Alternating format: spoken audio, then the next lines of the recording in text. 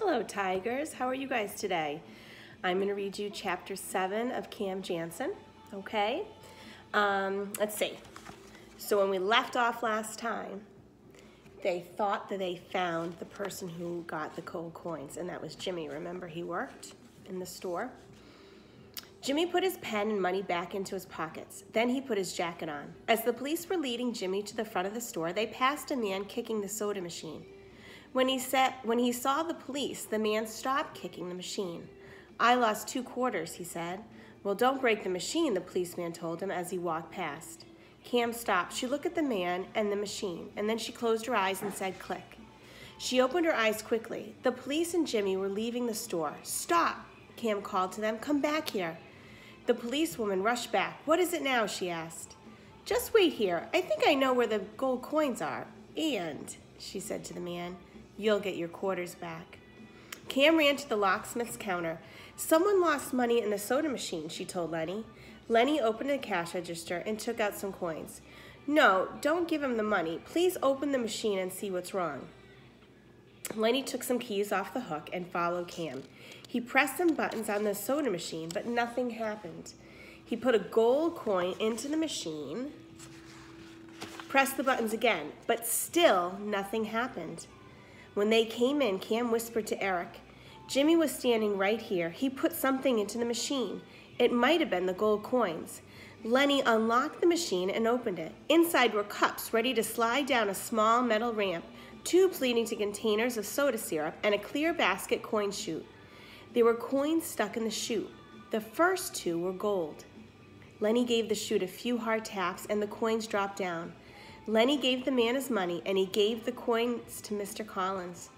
One of these must be bent, Lenny told Mr. Collins. That's why it got stuck. Mr. Collins said, I'm glad. If the coins weren't bent, we might not have found them. And there's the picture.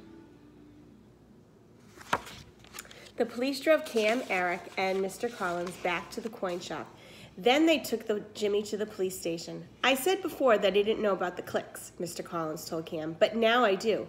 They help you remember, and they helped find my coins. Eric looked through the window of the store while Mr. Collins opened the door.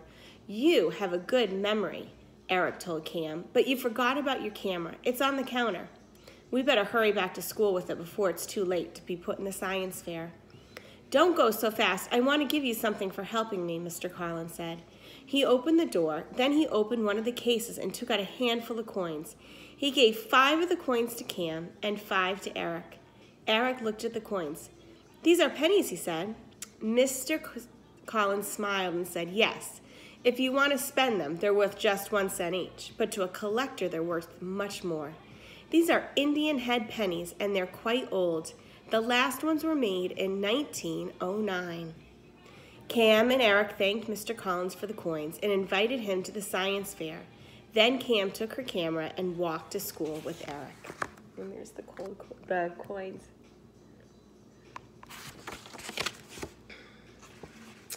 Chapter 8. That evening, Cam and Eric were standing by their projects. Miss Benson and the other fifth grade teachers walked with the science fair judges from table to table. They asked the children about their projects. Each of the judges wrote notes on a pad, and later they would announce the winner of the science fair. Cam's parents were at the science fair, and so were Eric's, his twin sisters, Donna and Diane, and his baby brother, Howie. They all came to Cam's table. Did the judges get here yet? Cam's father asked. No, but they'll be here soon. They were just with Eric. Do you know what to say? They'll ask me how I made the camera and how it works. I know all about it. Don't forget to tell them that the first picture you took was of me, Donna said. They might think it's Diane because they look alike. you tell them it was me.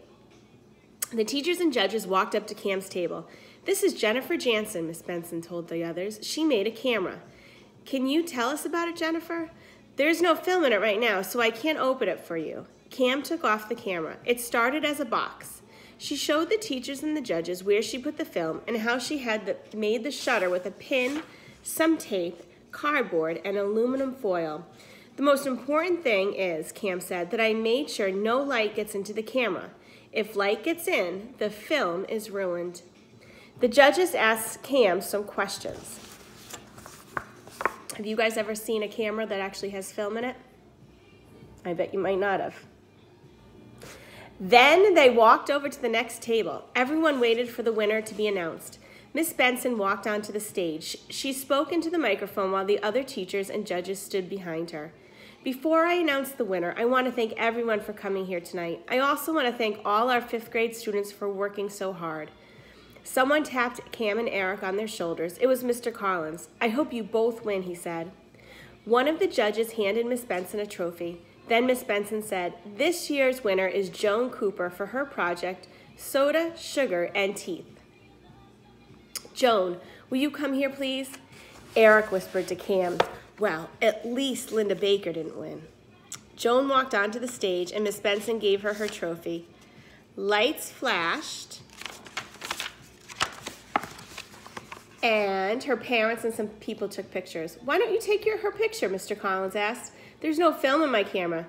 No, use your other camera, the one that saved my coins. Joan was shaking hands with one of the judges. Cam looked straight at her and said, click. Then Cam looked at Mr. Collins. He was talking to Cam's parents, to Eric, and to his family. I'm taking your pictures too, Cam told them. Cam's mother combed her hair. Eric's mother held Howie up so that he would be in the picture. Then they smiled. Cam looked straight at them all and said, what do you think she said? Click. All right, that is the end of the Cam Jansen book. So I ordered the Chocolate Touch, but it hasn't come yet. Amazon's a little slower than they used to be. Um, so if it is, if I get it today or if I get it tomorrow morning, I'll start it tomorrow. If not, it should be here for Monday. And um, what else? Start trying to um, get on Google Classroom every single day, okay? Because I'm going to be leaving some activities for you guys to try at home. And um, that's it. So I miss you all. Hope you're doing well. And um, we'll be reading again soon, okay? Bye-bye.